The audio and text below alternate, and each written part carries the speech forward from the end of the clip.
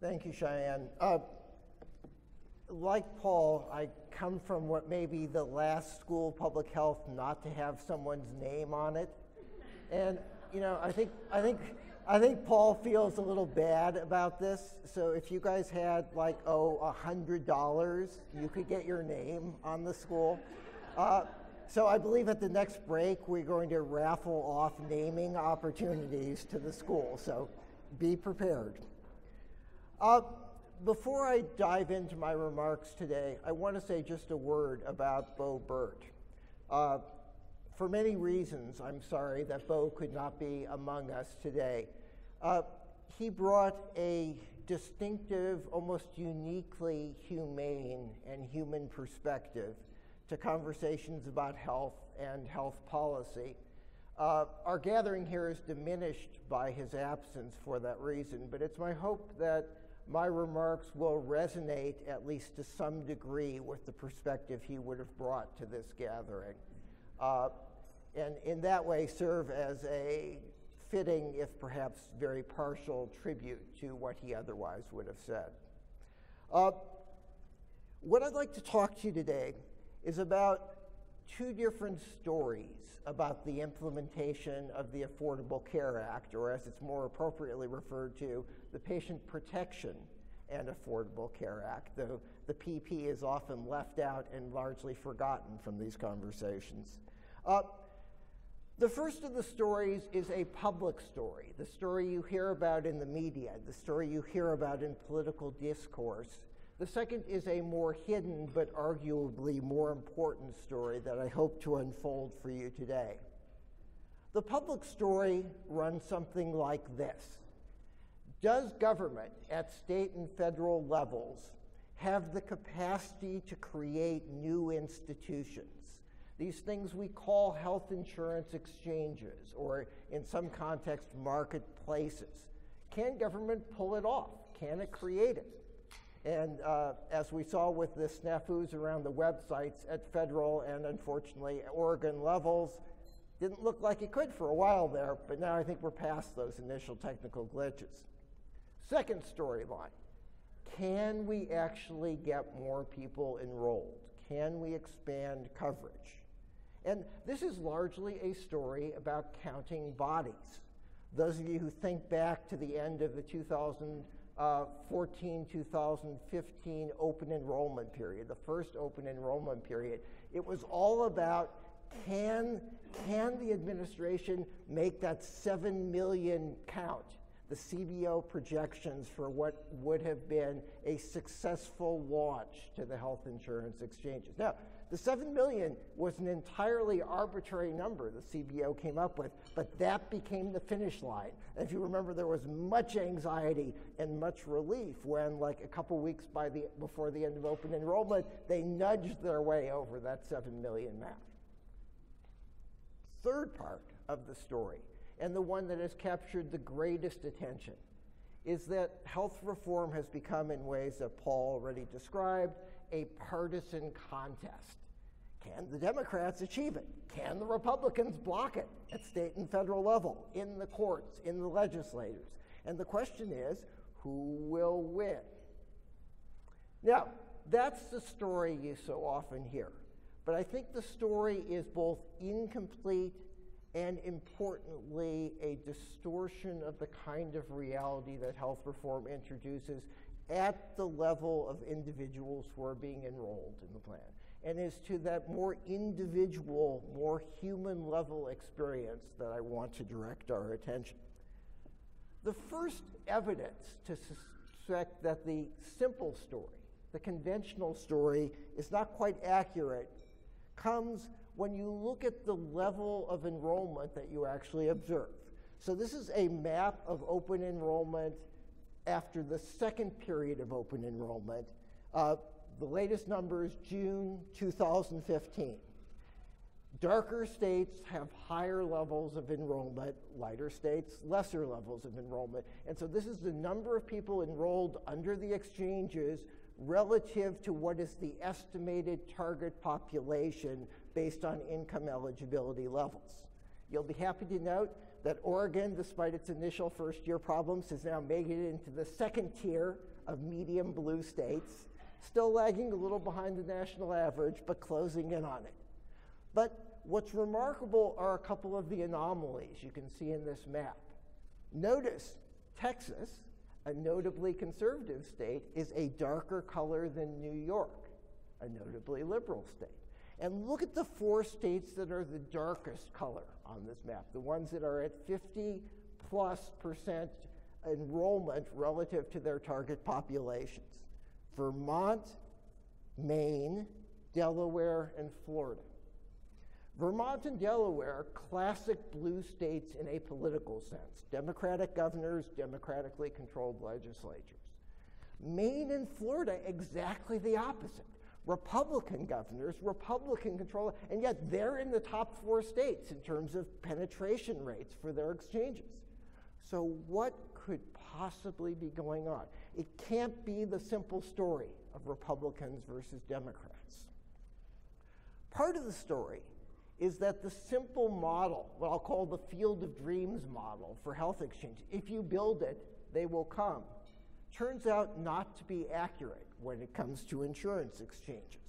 Because it turns out you can build the best exchange in the world, and it will still be hard for people on their own to figure out how to negotiate their way to insurance enrollment.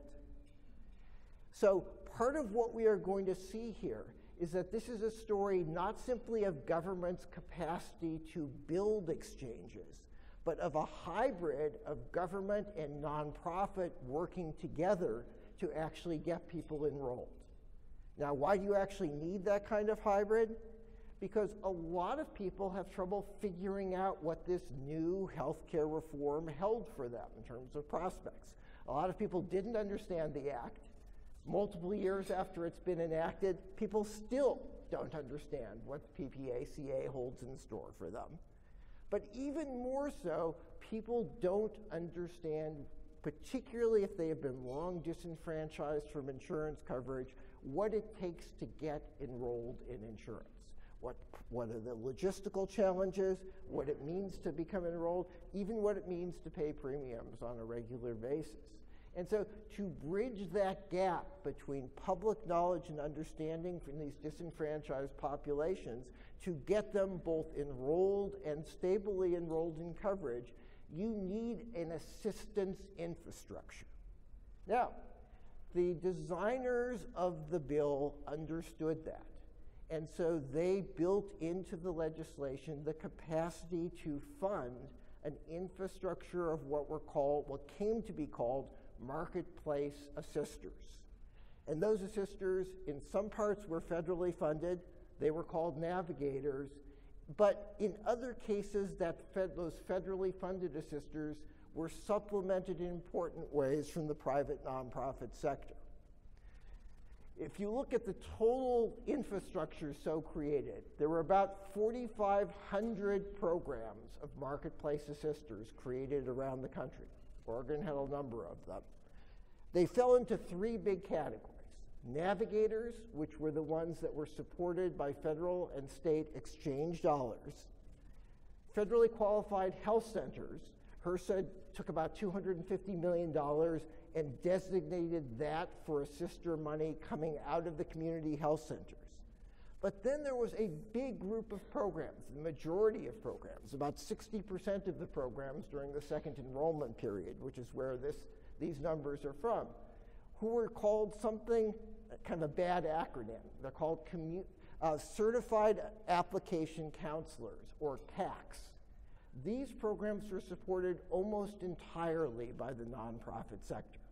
Now, they were smaller than the other programs, so they enrolled about 30 to 40 percent of all the people who got enrolled through the exchanges, but they played a vital role supplementing the federally certified marketplace assisters. That was particularly true in the states that were run by the federal government, the federally facilitated marketplaces. Now, exchanges around the country fall into three categories state based marketplaces, there are 17 of those run by the states, including Oregon. Federally facilitated marketplaces, those that are basically run by the federal government, and then a handful of what are called federal state partnerships, where the federal government runs the exchange, but the state government runs the consumer facing infrastructure, the marketplace assisters. Now, notice in the state run exchanges and the partnership exchanges, you have about almost nine assisters per 10,000 enrolled people. In the federally facilitated marketplace, you have about half that many assisters. Why was it? Well, because there were a lot more federal marketplaces than the original designers had in mind. When the bill was cobbled together in Congress, everyone assumed that the conservative Republican states would never want the federal government running a program in their state.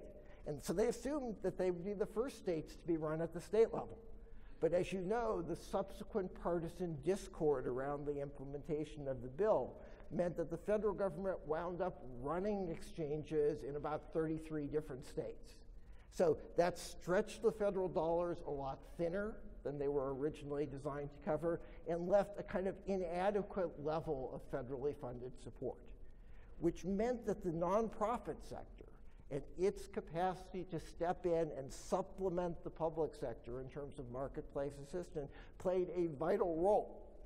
So Maine and Florida become the odd conservative success stories precisely because they had robust nonprofit sectors, foundation funded assisters supporting the enrollment process. So that's the first part of the story. This isn't just a story of can government work, it's a story of whether the government can partner with the third sector, the philanthropic sector, to make this implementation work.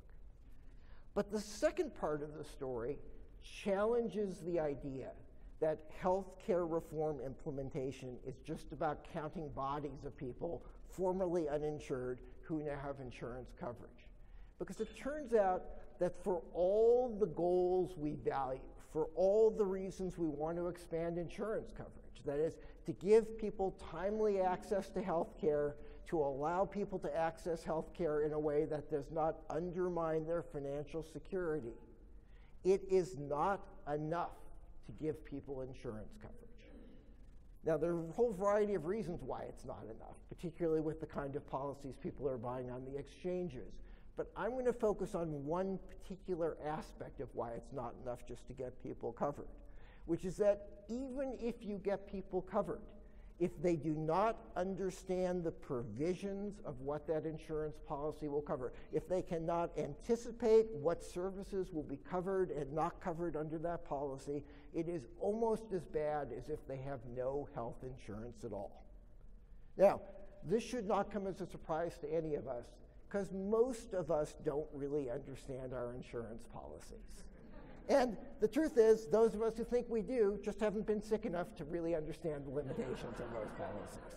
Insurance is complicated. That's no, that's no diss to insurance companies. Insurance is a complicated product filled with contingencies and coverage provisions, which are very hard to anticipate until you actually try to seek services. Uh, just prior to the, implement, to the enactment of, of the PPACA, I and some colleagues at Yale did a big national survey. It was a study of, of Americans' economic insecurity, but it included looking at their economic insecurity around healthcare related issues. And so we surveyed people about their health coverage and health care experiences. And we found a variety of key findings. First, Two thirds of all Americans who have insurance coverage, this is before the PPACA, were worried about not really being able to understand their insurance coverage. Now, if you look down that column, it's more with people who have more limited education. It's more with people who have individually purchased policies as opposed to employer based policies because they don't have the human resource department at their employer helping them figure out what the coverage provisions are. So, most people kind of worry they don't quite get insurance. Second, if you don't know what's going to be covered, you are almost as likely to put off me- medical care as if you don't have insurance at all. Almost 20% of all people surveyed in 2009 said they put off medical care that they felt they needed because they weren't sure if their insurance policy would cover it. Now, bear in mind, only 50% of people go to the doctor each year. So this is of the 50% who went to a doctor, about 40% of them put off care they otherwise would have needed because they were worried about not understanding their insurance policy. And again, here again, that is higher for people with individually purchased policies who don't have employer based resources to help them interpret their coverage provisions. So, virtually half of the people who would have sought medical care under an individual policy didn't do so, at least in part, because they didn't understand what their insurance policies would cover. So, it matters a lot, not just that people get covered, but they understand their coverage provisions enough to believe they can anticipate what that policy will pay for and what it will not. Now, that turned out to be a particularly big problem with the new populations being enrolled in the insurance exchanges. Because remember, these are the people who were often long term uninsured. Not only could they not anticipate what a given policy would cover or not, they had a hard time in many cases understanding even the most basic concepts about what a deductible is or what it meant to be in or out of a network in terms of coverage for particular providers. So, when surveyed in 2015, the marketplace assisters characterizing the populations they were surveying, three quarters of those programs said that most or nearly all of their clients didn't understand what a deductible meant. so recognize what this means that when people are coming to the assisters, they need a lot more help than just being told, here are the policies that are available to you, pick whichever one looks best. They need a lot of education, they need a lot of background coaching to be able to make sensible and plausible decisions under these different circumstances. That often can't be done in a single visit, that often requires an established ongoing relationship between the assisters and the consumers. Now, what that meant was that these marketplace assisters began doing a lot of things that people had not anticipated they were going to do.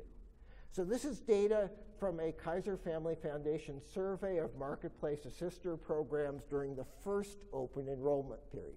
You can see down that first column, it talks about all the different things the programs reported doing. In the right hand column, which of these things made it into their top three? Which were part of their primary activities of what they were doing? And let me call attention to a particular one of these different activities. It turns out that marketplace assisters were not simply helping people to enroll, but they were very often being involved in what was called post enrollment problems. After you get people insurance coverage, how do you help them negotiate and understand what their insurance policy will actually pay for and what it won't? How do you get them to figure out how to interact with their insurance company to get questions answered? How do you get them to be informed consumers to actually know what they're being protected for and what not.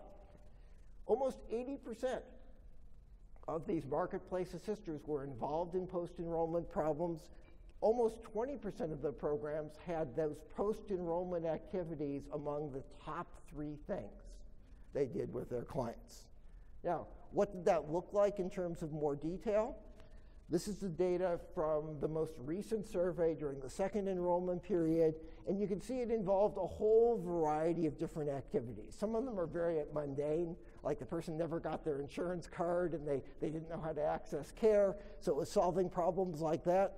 But many others were about problems involving what was covered, what wasn't covered, people thinking they joined the wrong plan when they actually figured out what the coverage limitations were, people deciding they'd been in the wrong, they'd chosen the wrong plan because they discovered their doctor who they'd been going to was not covered because they didn't really understand the network provisions.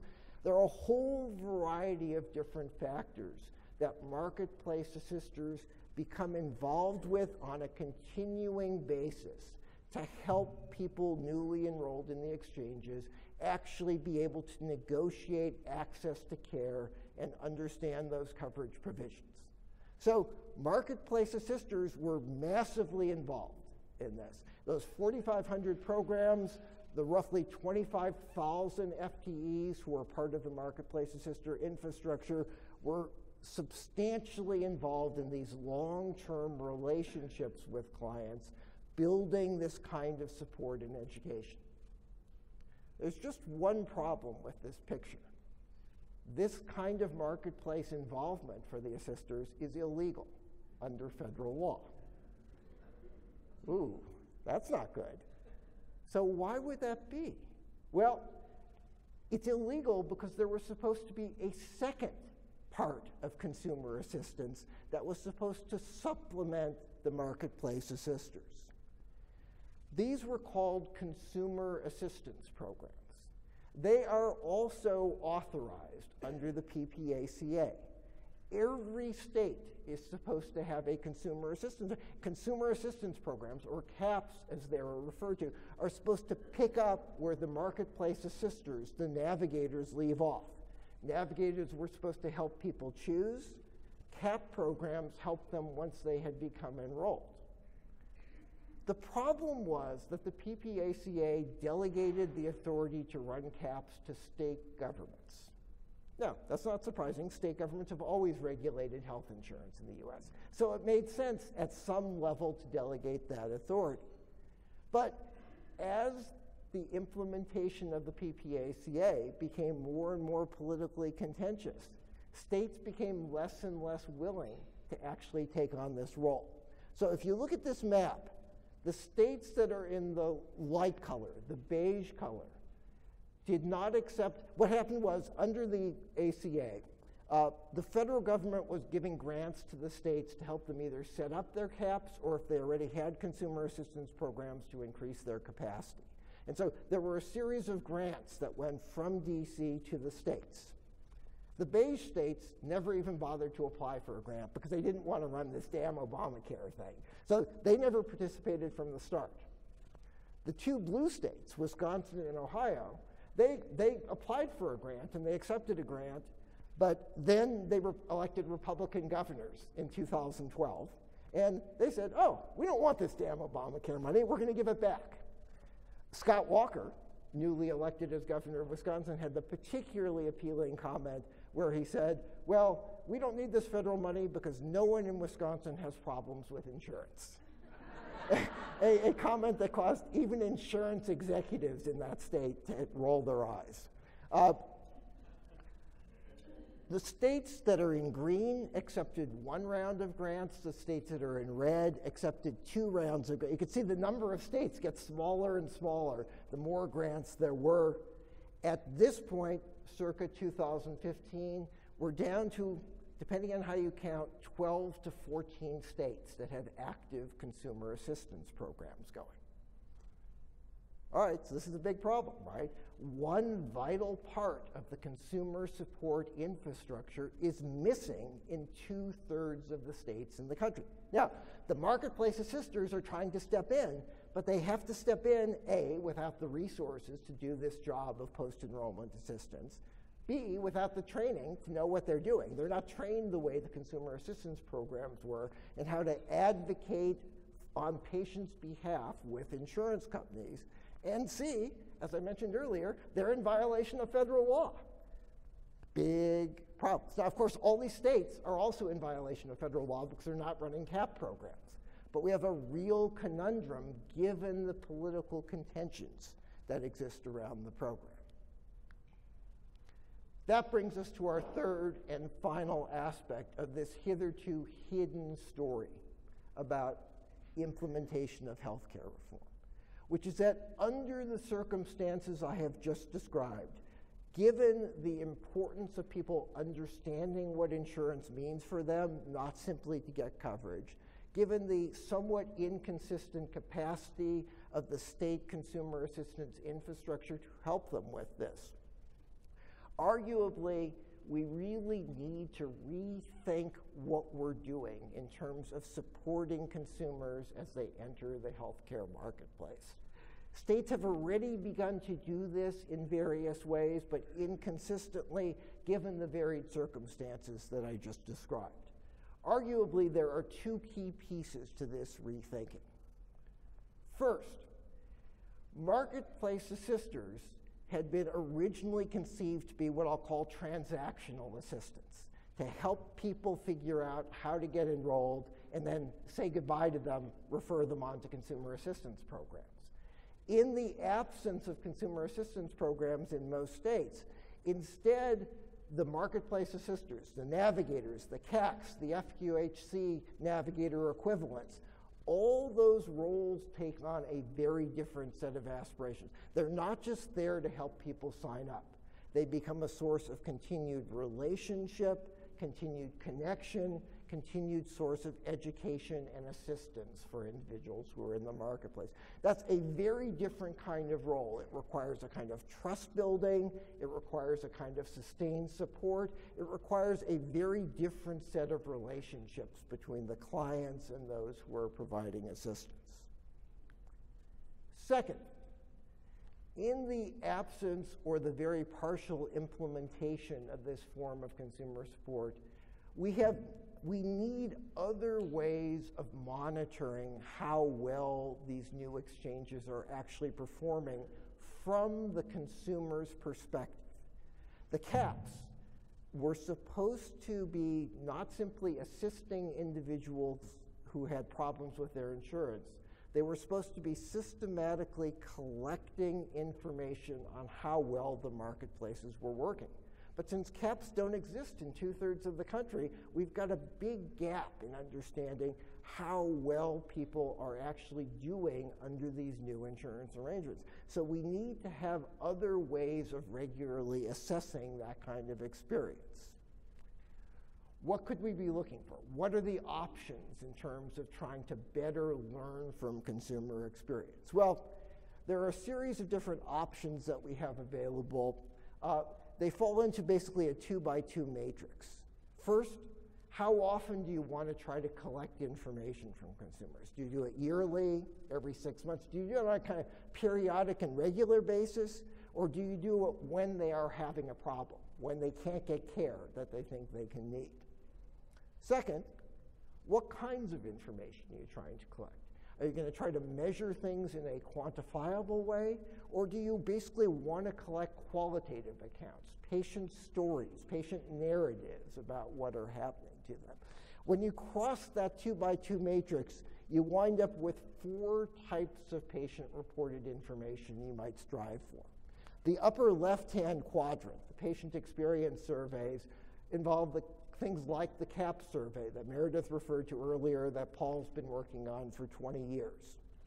The bottom right hand quadrant involves things like grievances and complaints. Those were the things the CAP programs were supposed to be collecting and summarizing on a system level basis. But again, we're missing the CAPs in two thirds of the states. Patient reported outcome measures, the lower left hand quadrant, are the kinds of things that people would report on a regular basis about how well they are doing by way of their health and health care. Those are gradually being infused into the healthcare system, but still remain very partial. It's the upper right hand quadrant that I want to call our attention to, though, which is the capacity we have to elicit, that is, systematically collect patient narratives on their access and quality of care to hear from them stories about how they are doing in terms of being able to get care in a needed and timely way. It turns out that doing this kind of collection of elicited patient narratives is a challenging task, a lot more challenging than most people recognize. Uh, over the past few years, I and a series of colleagues have been involved in developing a strategy for being able to do this. We just published last month in the New England Journal a kind of roadmap for how this might be accomplished. We can talk about the details of that more in detail. It involves really laying out the criteria of what a good patient narrative actually is And how would you know if you're able to collect that on a systematic basis from a broad cross section of the patient population? So, where does this leave us? In conclusion, drawing on this hitherto hidden story of how health reform implementation is touching individuals, I believe we have the building blocks toward building a new, different story of how health reform and indeed the healthcare system ought to work by way of the patient experience. First, we need to understand that this is not simply about getting people enrolled, it's about increasing people's understanding and engagement with both their insurance and the healthcare system being delivered. That's a very different task and requires very different resources to accomplish it. Second, it is not something that's produced by one off transactions. You can enroll someone in a health plan and then say goodbye to them. If you really want them to be able to understand their policies and use their health care well, you need to have ongoing relationships between consumers and the assistance infrastructure designed to help them do that. And third, we really need to listen to experiences at the patient level. We need to collect both qualitative and quantitative data from a cross section of patient experience so we can really tell who is being benefited and who is not. We are very partially there right now. We have a long way to go to get this new story fully told. Thank you.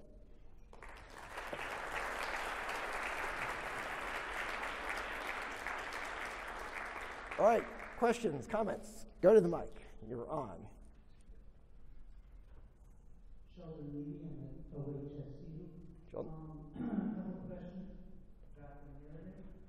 One is why wouldn't you include narratives from the assisters as part of the analysis?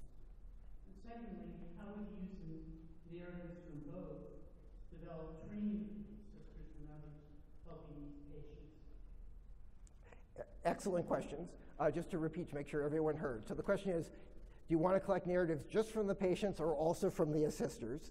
There is a national website called In the Loop, which is run by a consumer advocacy group called Community Catalyst that I, am on the board of, which does collect these kind of uh, assister based narratives and feeds them back to other assisters to help them improve things we are still working on the best ways of taking patient narratives and aggregating them in ways that A, they can be fed back to clinicians so they can benefit from learning more about patient experience. B, they can be put on public reporting websites so people can compare across health systems and healthcare providers in terms of those experiences. But third, and most importantly from a policymaking perspective, so you can aggregate them up and use them like kind of canaries in the mine shaft to warn you when there are problems developing in the system for particular populations. That's a work in progress, and we can talk more about it later. Go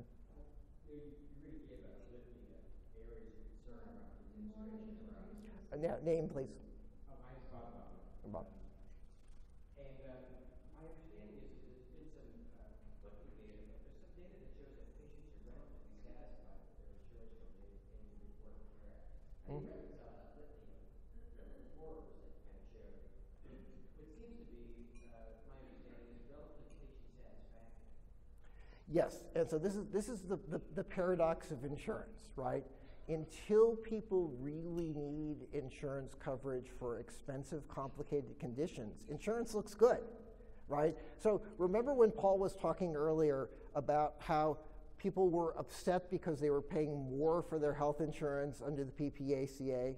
That's because the act basically made illegal a set of crappy insurance policies that didn't actually cover anything and now they have to actually buy real insurance policy. But they didn't know they had crappy insurance policies because until they got sick, they felt they were insured, right? So you only really learn about the limitations of insurance from talking to sick people, not from talking to the average enrolled person.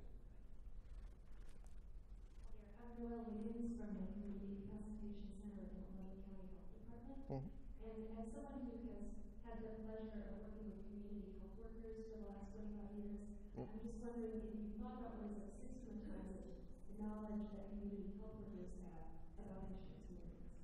That's great. And obviously, Oregon has been kind of way ahead of most parts of the country, save possibly New York, in using community health workers. And so you guys are kind of at the forefront in using this as an institutional reform. To my knowledge, there have been no studies that have tried to collect the experience of community health workers in a systematic way. There's a close analog in, in the so called Cancer Navigator programs where there have been some efforts to collect information from those navigators about care, but I don't think we know very much about how best to do it with community health workers. I think it's a great idea, we just don't know how to do it yet. Hi, I'm Dr. Winston. I think you will find that a lot of the work in the primary care doctor's office is that it's fulfilling the CAP role. If the patients make Yep. it to the office, and Yep. if you go to a provider that sort of has the knowledge of the various plans he deals Yep.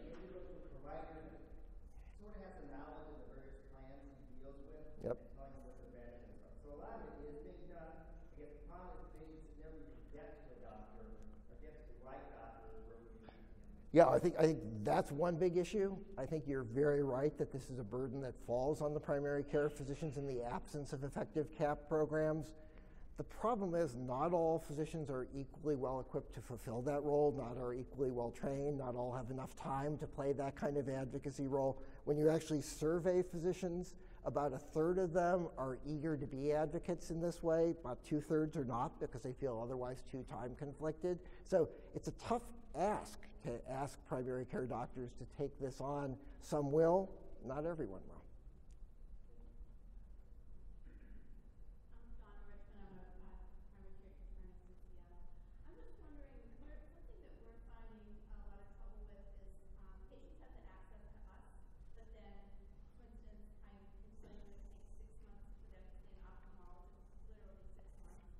Um, so I don't know if there's gonna be any control over that, if there's gonna be, um, any kind of requirement that specialists and subspecialists will accept this insurance also, because, you know, we can't do, provide a lot of the services they do. Yeah, the, I mean, because Oregon is in this weird case of they are a state run exchange, but they are what's called a federally supported state run exchange, which means you operate under federal guidelines for those what plans have to do and what they don't have to do.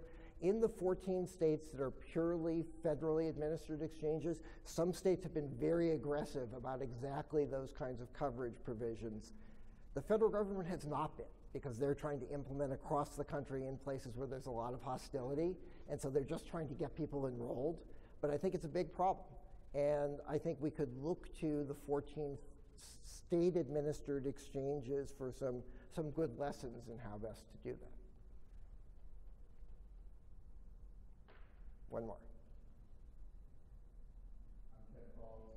I wanted to ask whether you see any role for the health plans themselves in educating consumers about how to use the health plan itself? That's a very good question. Uh, it depends a lot on, on what constitutes a health plan, obviously. If we're talking about Kaiser as a health plan, they have a very different capacity to reach out and educate enrollees than if we're talking about some of the state run ex, uh, exchange policies done by Aetna or by Humana, right? And so, one of the things I did a study on this about a decade ago that looked at when people had access problems, would they complain to their health plan? Would they give voice to it? And there was a huge difference in terms of how many people would give voice to the health plan when they had access problems. The single best predictor was whether they had a good relationship with their health plan, whether they saw the health plan as being on their side or being a kind of opponent and antagonist. So the insurers just didn't want to hear complaints, could just be a little hostile, and people wouldn't complain to them. And so you had this big divide between the good guy plans, the white hat plans, and the less good guy plans, and big differences in voice across those two types. All right, good. Thank you, guys.